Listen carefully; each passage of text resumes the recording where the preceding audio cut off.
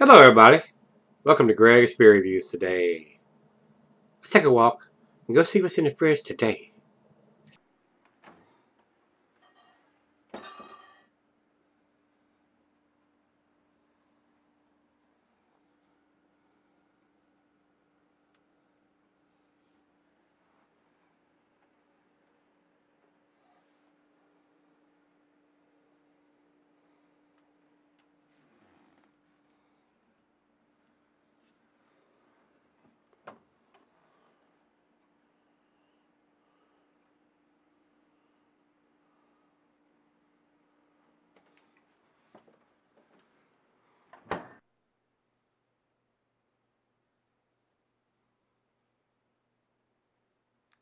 Hey everybody, thanks for stopping by Greg's Beer Reviews today.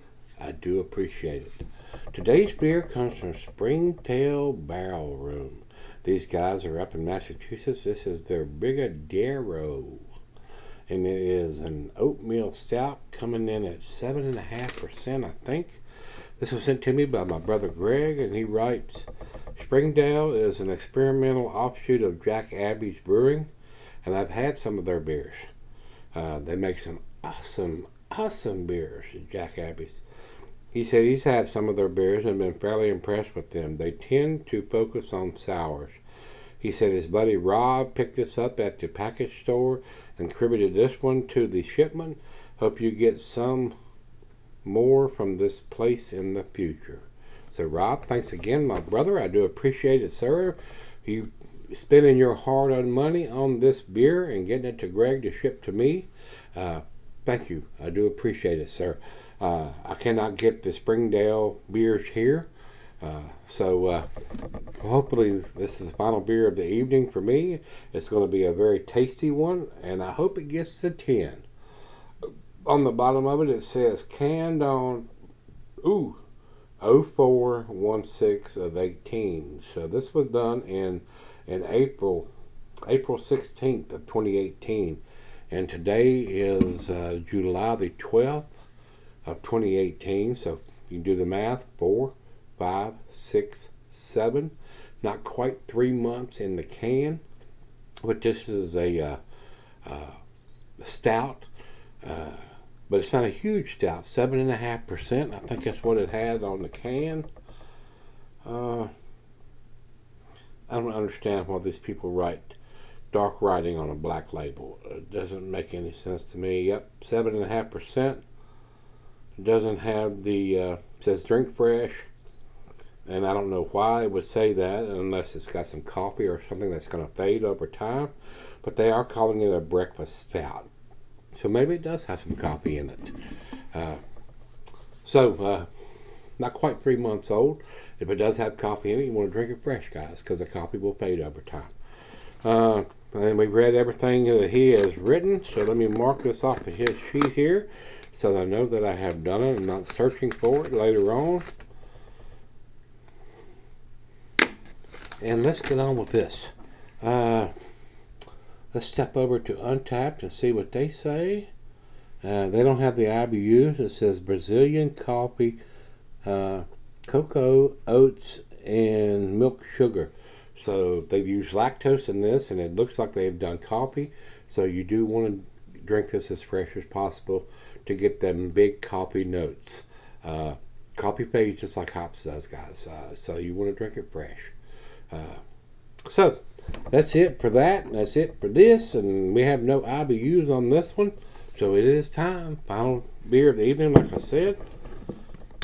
We're going to pop the top here and get it into the glass. And while I pour this, I will tell you the food pairing says cheese of the earthy, camembert, fontina, general chocolate, dessert, meat, shellfish, smoked meat, glass Sprite, pint, bacchanalic, tumbler, mug, stein, Seidel. I'm using my favorite tulip glass today, guys, and not recommended for extended sour.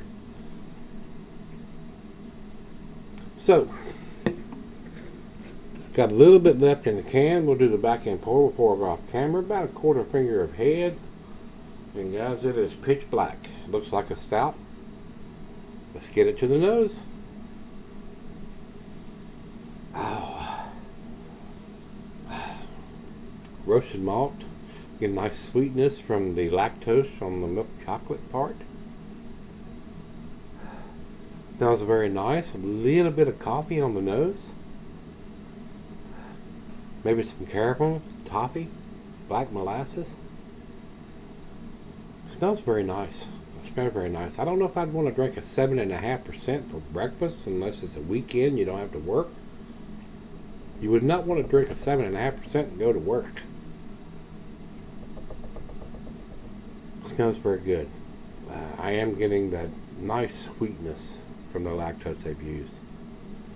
And I'm getting a little bit of coffee in there too, so maybe the coffee is going to be more prominent in taste than it is in the aroma. It's cold right out of the fridge, so let's dive in. Cheers, everybody. Cheers, Greg.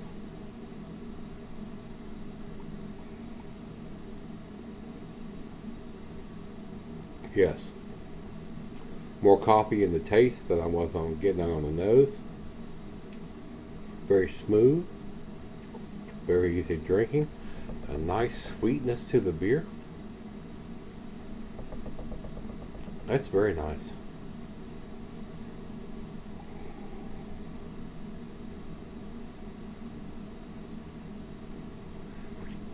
Most definitely, that's very impressive.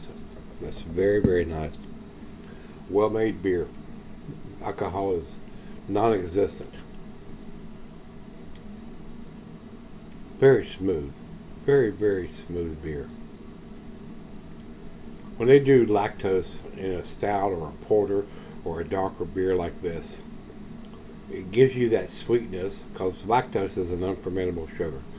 Uh, it it's it doesn't it doesn't let the yeast eat all that up, and you have a super dry, bitter beer. It, it, it keeps that sweetness to the beer. That is very nice. That is very very nice. Well done. A great final beer of the evening. And guys, it's got the ABV on the can. It's got the date on the bottom of the can. So uh, we got the two things we need uh, the IBUs are not super critical, uh, especially nowadays with their different brewing styles, with the New England style and other styles. Uh, and I've explained this to you before. Uh, you might have one brewery that does a 50 IBU beer and one beer company that does a uh, 70 or 80 IBU beer, and it's actually theoretically possible that the 80 IBU beer would be less bitter than the 50 IBU beer. So the IBUs are not as critical as they used to be, depending on the brewing style that they use. So very nice beer, guys. So it's time. Uh, this is right out of the fridge. Gonna let her taste it and go down on the deck and fire up a stogie to go with this nice dark beer, and we'll come back and see where it ends up. All right, guys, I'm back. Uh, just a little left here. Nice tasty beer. Nice breakfast stout, if you will. Not the best breakfast stout I've ever had. Uh, decent beer. It's got the ABV on the can. It's got the date on the bottom of the can. Uh, I don't think it's a 10 beer to me, guys. Uh, I do think it's an A beer, and that's where I'm going to put it. A minus for me on this one, guys. Uh, 92 is where I'm putting this one. Uh, decent beer. I enjoyed this. Coffee notes, nice sweetness to it. Ridge roasted malt, maybe some uh, black molasses, caramel, toffee. Not a lot of dark fruit or anything like that in the beer, but a nice, easy drinking, sweet stout. So, final choke.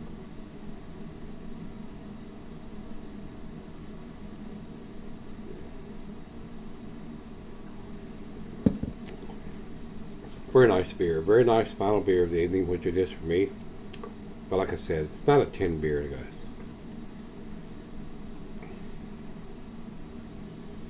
Ninety-two for me, guys. Uh, a minus. Over to Beer Advocate, they say 4.12 exceptional. That's in their A minus range also. And for our final check-in, we run over to Untappd. They have it at 4.04, also in their A minus. So it's A minus from everybody, guys. It's unanimous.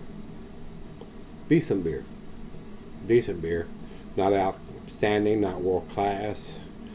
Uh, I do appreciate them putting the date on the bottom of it. Uh, be good beer to have on the weekend if you didn't have to work on a Saturday or a Sunday. You wouldn't want to drink this and go to work. That's where I'm going to put that. Uh, I liked it. I would probably buy this beer if I could get it here. So, uh, I've had better. I've had worse. Uh, let's run over to uh, beer. I've like I said, they said one four point one two exceptional. Uh, hmm, that's stretching a little bit for me, and have it at 4.04. Uh, a minus from everybody, guys. That's where I'm going to put this. If you've had this one from uh, uh, Springdale Beer Company, this is the Brigadeiro. Nice beer, decent beer. I enjoyed this. So, Greg, thanks again, my brother. I do appreciate you spending your hard-earned money on this, or, or Rob uh, contributing to the package. Uh, nice beer, nice, nice beer. I did enjoy it. So, uh, with that being said, guys, if you've had this one from Springdale, this is their Brigadeiro uh, hmm, milk stout, uh, an American stout, brewed with lactose, a little bit of coffee in there. Very nice. I enjoyed it. So, uh, if you had, let me know what you think. Until we meet again, let's go see what's in the fridge.